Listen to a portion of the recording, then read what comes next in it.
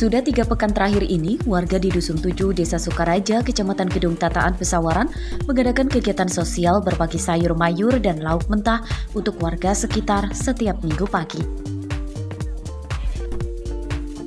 Beragam jenis sayur yang disediakan antara lain sop-sopan, sayur asam, terong, gambas, jagung, dan bumbu instan. Sementara lauk yang tersedianya biasanya ada tahu, tempe, ikan, dan kerupuk. Para warga yang kebanyakan kaum mak-mak pun datang silih berganti mengambil sayur dan lauk yang dipusatkan di pos ronda dusun.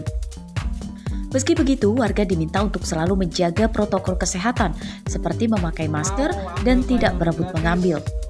Warga sangat senang dengan kegiatan itu sebab bisa menghemat pengeluaran belanja untuk makan sehari-hari manfaat banget bisa ngebantu pagi ya. Pagi-pagi nggak ke pasar udah tinggal nyayur terus uh, ini sudah berapa kali ibu ke sini uh, udah tiga kali.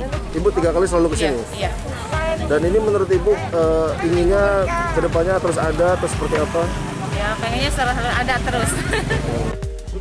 Panitia dan inisiator kegiatan mengaku awalnya tidak menyangka kegiatan yang mereka gagas mendapat sambutan baik. Donatur terus berdatangan, baik yang membawa sendiri sayur mayur dan lauk atau menyumbang dalam bentuk uang. Nah, kita ada dana seadanya dulu kita jalankan. Alhamdulillah dengan adanya itu semakin lama semakin enak banyak yang menyumbang gitu kan. Karena dengan selokan taruh eh, semampumu dan ambil seperlumu itu. Sini Bu, kalau dari tiap minggu ini. Rame Pak, habis pasti habis. Kita siapkan berapa paket Bu? Aku udah tahu makanya sedikit ya. Ratusan ada? Ada lebih. Dan ini uh, kalau total seluruhnya ini dari berapa orang donatur atau satu orang atau bagaimana? Dari berapa? Banyak ya. Mereka berharap kegiatan yang diberi nama Minggu Berbagi dengan tagline memberi semampunya dan ambil seperlunya itu bisa terus berjalan karena kegiatan itu sangat bisa membantu mengurangi beban warga khususnya di masa pandemi saat sekarang.